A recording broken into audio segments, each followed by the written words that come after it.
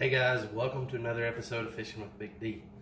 Today I want to show you how I make two of my favorite catfishing baits and we're going to go out and put them to the test. Hopefully we'll catch some fish. So stay tuned for this free 99 knowledge.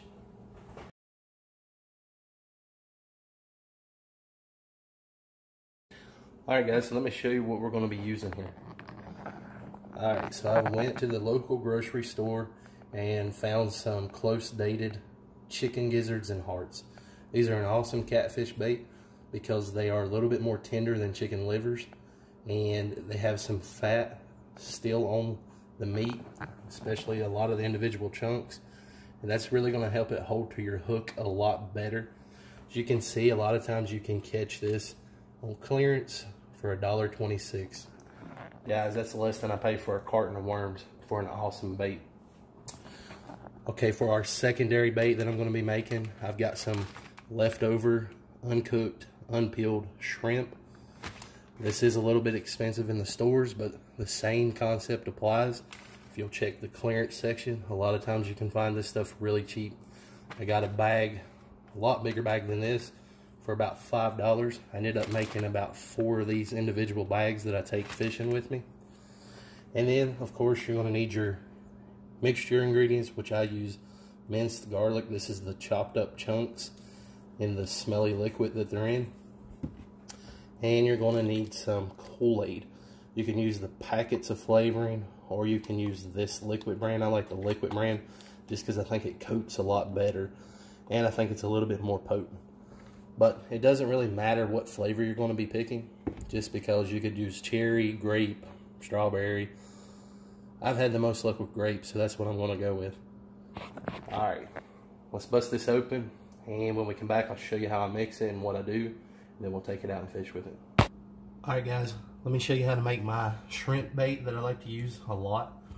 All these baits have worked really well for me. I catch a lot of channel catfish on it because that's what's local to my area.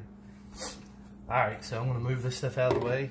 And my two main ingredients for this is going to be minced garlic regular table salt, and of course, the large jumbo, uncooked, unpeeled shrimp.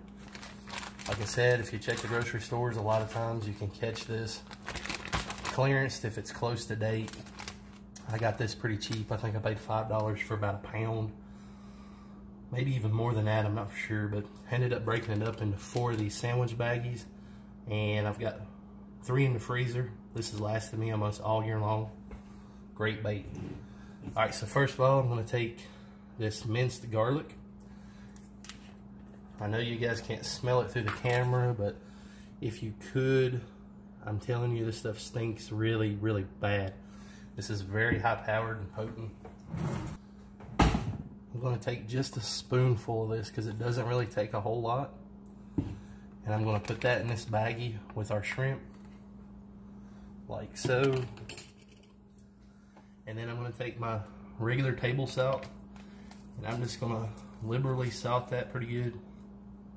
And that's all there is to it, guys. I'm gonna close my Ziploc baggie up and I'm going to work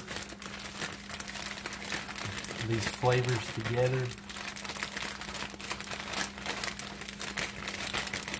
Really get them all good and coated so that that salt's spread out evenly and then the garlic chunks are in there. And this bait's gonna stink pretty bad, guys. I mean, it's rough, but that's what catfish like. This bait works really well. I'm gonna take it out and try it today. I'm gonna kind of put my two baits up against the test, against each other and see which one does the best. So there you have it. This is garlic shrimp. All right, guys, so now let's go to bait number two. This is my second, second favorite bait of all time. I've got the chicken gizzards and hearts. I caught these on clearance for $1.26. Like I said, just check your local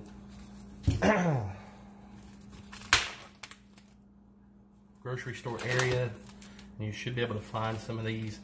Even if you don't, I don't think they're that high. I think they're like maybe $3, but I like to catch them when they're like that because I can make multiple baggies of these baits and freeze them for later dates.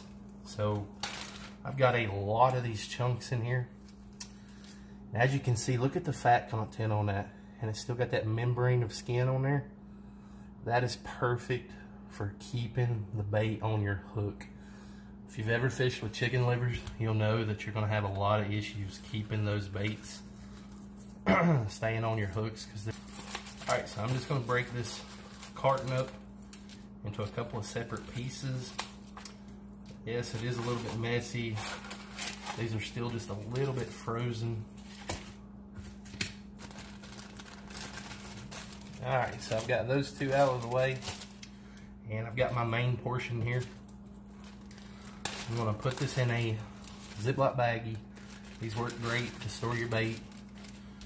And even if you take this bait out fishing with you like I am today, and I don't use it all, I can bring it right back, throw it in the freezer. Just as long as I mark it with a marker on the outside, I just put catfish bait. That way nobody accidentally eats it, but hopefully you don't have that problem here. All right, so I'm gonna take my garlic once again, because garlic is a real big scent that catfish like. I'm gonna try to get a little bit of the juice in there. And that's all I'll need for that. And once again, you're gonna take your regular table salt, and I'm gonna liberally salt this really good. And then last but not least, I'm gonna be using my Kool-Aid. A lot of people have seen me use this before. I made my hot dog recipe video. If you ain't got a chance to see that, go check it out. It's in my videos. It actually does very well for channel catfish as well. Uh, that video got 30,000 views. Uh, awesome, awesome video. Uh, but this is also one of my other favorite baits that I've tried here recently, and it works really well. But I like to use the grape. I don't know what it is about grape and cherry, but they seem to like those flavors the most. I don't know if it's the sweetness or just something that attracts them to the scent. You can use the powder form packets. They work just as well. I just don't think they coat as evenly as a liquid does. So I bought the liquid squeezy bottles. I think they're a little bit higher concentrate too, but I'm just gonna give this two or three good squirts. Then I'm gonna take my Ziploc baggie I'm going to seal it up really good. And you'll have to be careful too because this will stain your hand a little bit. So I like to use the baggies. But all I'm going to do is just work that around really, really, really good. You see how it's getting dark on the meat. That helps me see just how coated that the meat has become. Alright, I'm going to work this around for a few seconds and then I'll show you the final product. Alright guys, so that's it for this video. We ended up making the gizzard and hearts. These are covered in my garlic and Kool-Aid and salt recipe. I'm to take these out and put them to the test against my garlic shrimp. Probably my second favorite bait of all. And you guys have already seen my hot dog and Kool-Aid flavored baits. They work really well for channel catfishing as well. So overall, you got two really great baits here that we're making. We're to go test them out and see how well they do neck to neck. But for about $6, I've made enough bait here to do me for my whole 2020 catfishing season. I don't fish a whole lot for catfish, but I do like to get out there at least five to 10 times a year and try to target these fish. And overall, that's a great and cheap, non-expensive bait that works a lot better than the store-bought brands. So thank you guys for watching. And as always, if you're not a subscriber to my channel, please hit that subscription button ring that bell so you get notifications whenever I drop new videos.